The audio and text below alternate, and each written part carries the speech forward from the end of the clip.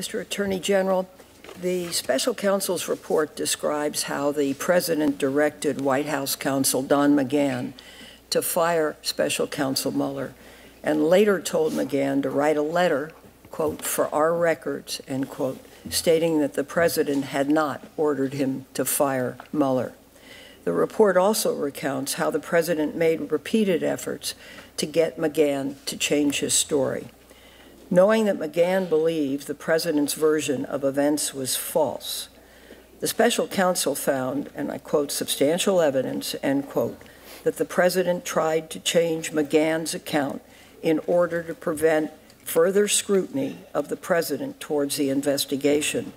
Special counsel also found that McGahn is a credible witness with no motive to lie or exaggerate given the position he held in the White House. Here's the question Does existing law prohibit efforts to get a witness to lie, to say something the witness believes is false? Uh, yes. And, Lie, lie to the government, yes. and, and what law is that? Obstruction statutes. The obstruction s- statute. And you, you don't have it, I guess, before you. Well, I'm not sure which, which one they were referring to here. It was, it, it was probably 1512C2. So these things, in effect, constitute obstruction.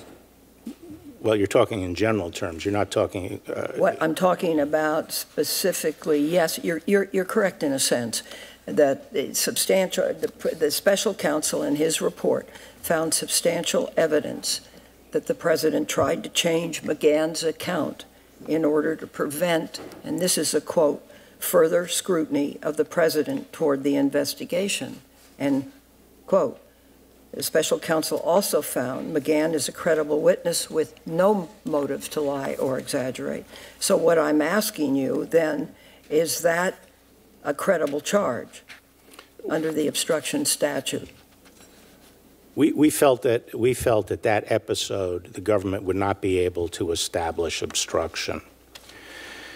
The, if you go back and you, if, if you look at the, um, the episode where uh, McGahn, uh, the president gave McGahn an obstruction, uh, an, an instruction. McGahn's version of that is quite clear, and each time he gave it, which is that the uh, instruction said, "Go to Rosenstein, raise the issue of conflict of interest, and Mueller has to go because of this conflict of interest." So there's no question that that that the whatever instruction was giving McGahn had to do with conflict of Mueller's conflict of interest. Now, the president later said that what he meant was that the conflict of interest should be raised with Rosenstein, but the decision should be left with Rosenstein. On the other end of the spectrum, uh, it appears that McGahn felt it was more directive and that the president was essentially saying, push Rosenstein to invoke uh, uh, a conflict of interest to push Mueller out. Wherever it fell on that spectrum of interest, the New York Times story was very different. The New York Times story said flat out that the president directed the firing of Mueller. He told McGahn, fire Mueller. Now, that, there's something very different between firing a special counsel outright, which suggests ending the investigation, and having a special counsel removed for conflict, which suggests that you're going to have another special counsel. So the fact is that even under McGahn's, uh, and, and, and then, as the uh, report says and, and recognizes, there is evidence the president truly felt that the Times article was inaccurate and he wanted McGahn to correct it. So we believe that it would be impossible uh, for the government to establish beyond a reasonable doubt that the president understood that he, that he was instructing McGahn to say something false because it wasn't necessarily false. Moreover, McGahn had weeks before already given testimony to the uh, to the special counsel, and the president was aware of that. And as, as the report indicates, it could also have been the case that what he, that he was primarily concerned about press reports and making it clear that he never outright directed the firing of Mueller. So in, uh, so in terms of the request to ask McGahn to memorialize that fact, we do not think in this case that the government could show corrupt intent beyond a reasonable doubt.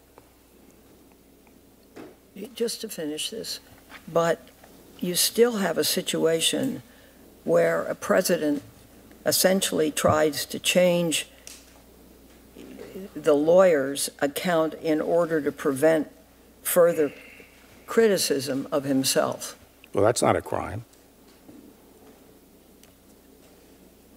So you can, in this situation, instruct someone to lie? No, it has to be, well, to be obstruction of justice, the lie has to be uh, tied to uh, impairing the evidence in a particular proceeding.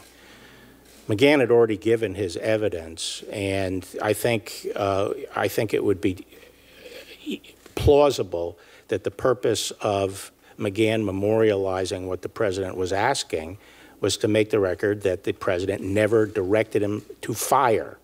And there is a distinction between saying to someone, go fire him, go fire Mueller, and saying, have him removed based on conflict. And what would, They have different results. what would that conflict be? Well, the, the difference between them is if you remove someone for a conflict of interest, then there'd be a, another, presumably another person appointed.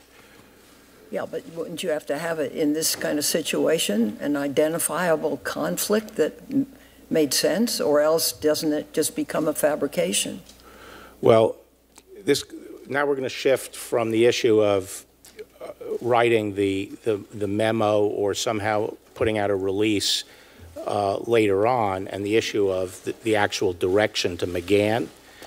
So the question on the direction to McGahn has a number of different levels to it.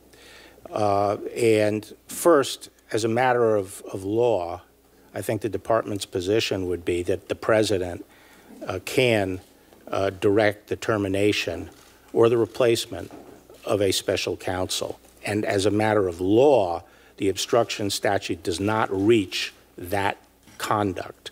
Putting that aside, the next question would be even if it reached the conduct, could you here establish corrupt intent beyond a reasonable doubt? What makes this case very interesting is that when you take away the fact that there were no underlying criminal conduct, and you take away the fact that there was no inherently malign obstructive act, that is, the president was carrying out his constitutional duties. The question is, what is the impact of, of taking away the underlying crime? Um, and um, it's not, as the report suggests, that one impact is, well, we have to find some other reason why the president would obstruct the investigation. But there's another impact, which is if the president is being falsely accused, which the evidence now suggests that the accusations against him were false, if he, and he knew they were false, and he felt that uh, this investigation was unfair, propelled by his political opponents, and was, and was hampering his ability to govern. That is not a corrupt motive for replacing an independent counsel. So that's another, another reason that, you know, we would say that the government would have difficulty proving this beyond a reasonable doubt.